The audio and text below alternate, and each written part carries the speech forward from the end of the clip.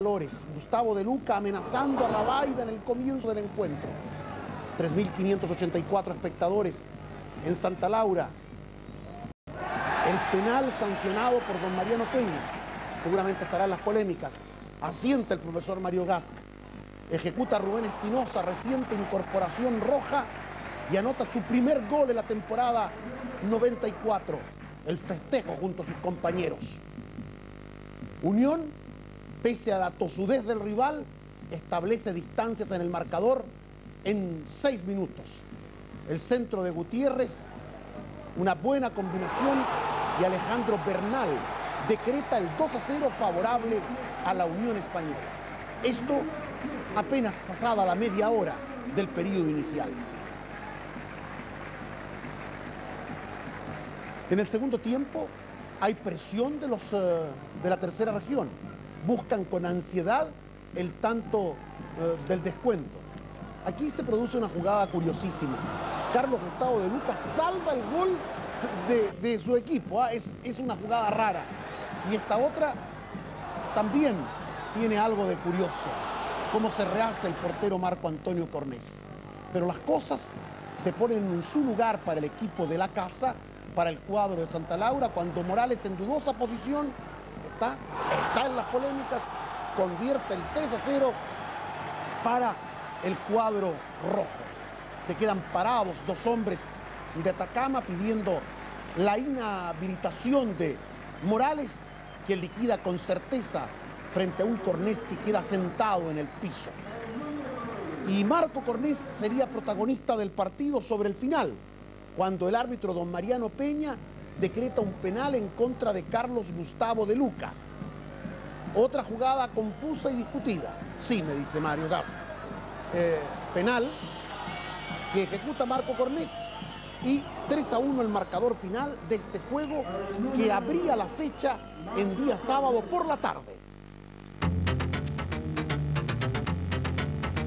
Un necesitado de triunfo era Coquimbo, recibió al poderoso Higgins, equipo que se pone en ventaja a los 24 minutos con la presencia de un hombre que llamó la atención en la ESPN durante la semana.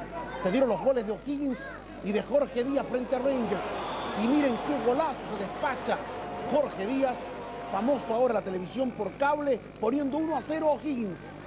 En el segundo tiempo aparece Coquimbo, conducido técnicamente desde las galerías por José Zulantay, un coquimbano de tomo y lomo. Penal, sancionado por Robles Mella, 10 del segundo tiempo, Barraza y el 1 a 1.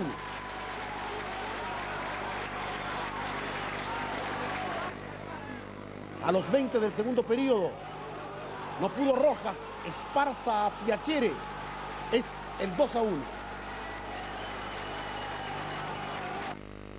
el mejor gol de la jornada. Carlos Rojas, bella combinación. Miren, todo sincronizado.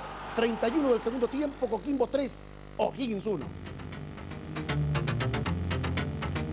El partido más espectacular de la fecha, el de Católica y Antofagasta. Qué bueno. El gol de Lucas Tudor tras ese tiro libre. 25 minutos del primer tiempo. Servicio de Gorosito Gran anticipo ofensivo del croata de la UC. Duodécimo gol de Lucas Tudor en la presente temporada. Alcanza al argentino, al Beto Acosta. La Croa en el tiro libre. El portero Tapia, gran figura. George Bill, el ex colocolino, en el empate para Antofagasta a los dos del segundo tiempo. Primero de Bill que las oficias de defensa en su nuevo club nortino. A propósito de defensas, Lester Lacroix fue el que sirvió el tiro libre.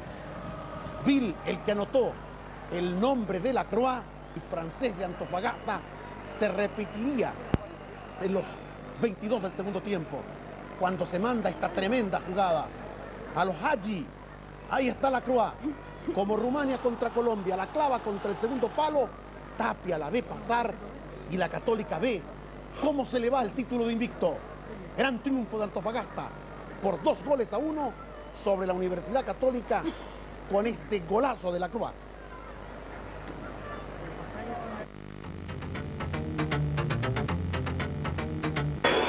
Encuentro de Everton con la victoria 36.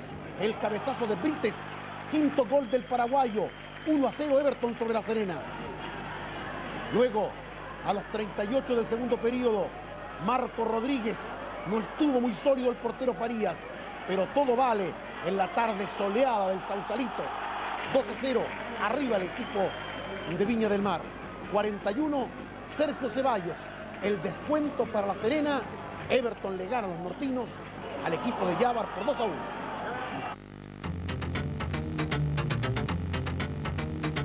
La lluvia, compañera del fútbol allá en el Parque Shot de Osorno.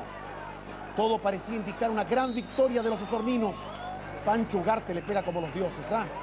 Miren cómo la pone. El portero Yabar se estrella contra el palo, nada pudo hacer. El festejo para el primer gol de Ugarte en el campeonato nacional.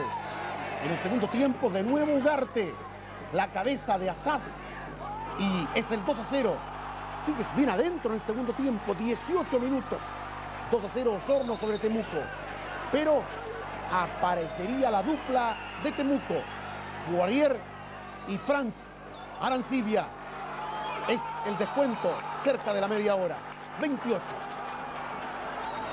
Se apura Franz Arancibia, pasa la media hora, ahora la asistencia de Arancibia, cómo le pega suavemente con todo el tino del mundo Gustavo Poirier para el empate de Osorno y Temuco a dos goles.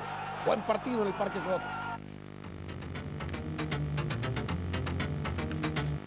Otro empate a dos. El equipo de Cobreloa se pone en ventaja tras este penal sancionado por el árbitro señor Guillermo Jara. Glaría a un gol de Salas. Decimocuarto de Glaría, 1 a 0 Cobreloa. El Calvo Orsusa se rapó el notable jugador de Rangers. 28 minutos, séptimo de Orsusa de la temporada. El empate a uno. A los dos del segundo tiempo aparece la cabeza de Rojas para el 2 a 1 de Calama, para el 2 a 1 de Cobreloa. Y a los 38 repite el infaltable Orsusa. A dos, Rangers y Cobreloa en tal. En Palestino 2, Cobresal.